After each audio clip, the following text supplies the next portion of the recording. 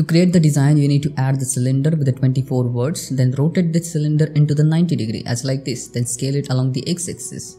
After that, shift A add the cube, and then go to the edit mode and add the center loop cuts like this. Then turn on your X-ray mode, select these faces and then delete these faces. Then select these verts and you need to press F to fill the gap at there. So you can isolate the object and you can press F to fill the gap. Then you need to adjust its scale along the x-axis. So select the cube and then scale it along the x-axis and give the right position to it. After that you need to select both the objects and you need to use the boolean operation which is union. Then apply the boolean modifier and delete the cutter object. Then go to the edit mode, select everything and then press M and merge by distance so double verts will get merged. Then you need to use the knife tool at here and you need to create the cuts like this. Then select this corner edge and Ctrl B add bevel on it. Add 4 segment bevel and give the right bevel width. The next thing you need to select the verts right click connect vertex path and create the codpiece topology. If it's necessary then you can add a few more loop cuts and you can maintain the good topology on the model. Now you can see we have got that face loop structure at there and just dissolve the center edges.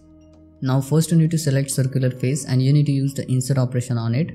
After that you need to select all the faces and use the inset operation one more time. Then you can give the right position to the verts as like this. Then add one more loop cut like this and then select the faces one more time with the shift select and then scale them along the y and z axis. Just create a little bit of taper form at there.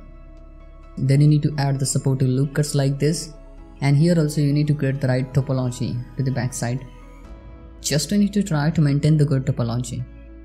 You can see here I have got a right face loop and now we can add few more edge loops like this and now just you need to give the right position to the verts in this way and just try to keep a good distance. So you can see I have dissolved that upper edge loop. We will use the another method add there. Now you can see the loop structure at there. I don't want a glitchiness at there so that's why I have dissolved that edge loop. I just want to keep it as simple as possible. Just give the right position to the verts and then select these faces with the shift select and then you need to use the inset operation at there. Use the small inset operation. This inset operation will help us to maintain the good harder edge on the model. And then just adjust the position of the verts little bit to maintain the good topology. Now you can see that looks really well. Just add few more supportive loop cuts on the model in this way. And now you can see we have got the smooth descent form to the one side of the model.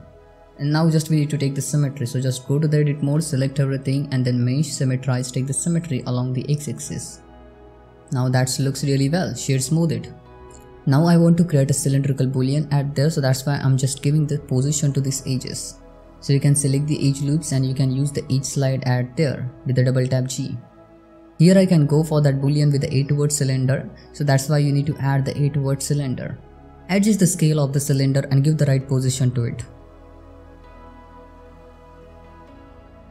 and you need to scale it along the x-axis